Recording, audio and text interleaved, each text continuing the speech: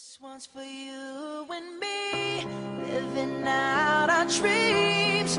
We're all right where we should be, with my arms out wide.